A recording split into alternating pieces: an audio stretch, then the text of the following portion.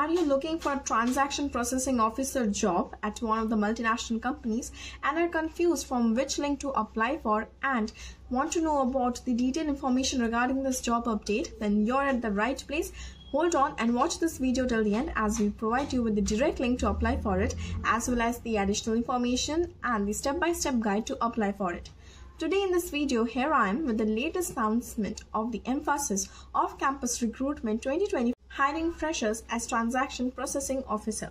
So if you're new to our channel and haven't subscribed our channel yet, then do subscribe as we also provide you with the regular job updates, announcements, recruitment processes, and many more. The job location is Bangalore, India, and the candidate should have team management skills, presentation skills. Candidate should be customer focused and also should be able to work in day and night shifts and also accurately follow predefined business process and should be about adaptable to the adapt the changes in the environment and should also have the ability to work within a team. Should also have the ability to communicate at all level and also have good communication skills. Staying current with the knowledge of the products and services. Ensure 100% adherence to schedule. It all define products like the productivity, product knowledge, accuracy, and many more. For a graduate having a degree in BCom, BBM, BBA, and having at least two years of experience in this field, then you can apply for it be able to type 30 words per minute with 95% accuracy. Professional in the interaction skills and should also have its expertise in MS Word and MS Excel. Must have strong interpersonal and good communication skills. Have the